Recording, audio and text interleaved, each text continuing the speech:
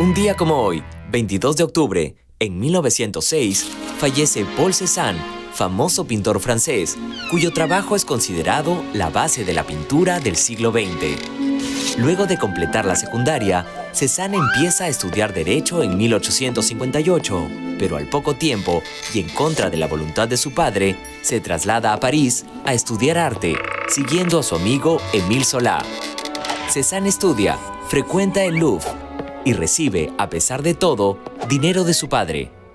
Junto a pintores impresionistas, expone en 1874 y en 1877, pero luego se separa de ellos para experimentar un estilo propio. Se considera que entre 1890 y 1905 pinta sus obras maestras, que inspiran más tarde a cubistas como George Braque y Pablo Picasso.